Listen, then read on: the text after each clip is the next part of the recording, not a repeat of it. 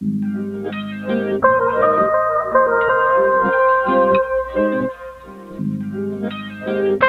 everybody and welcome to my studio. In the background you can see my less than ideal improvised version of a desk. So this week I want to make a new one that looks a little bit nicer than this mess.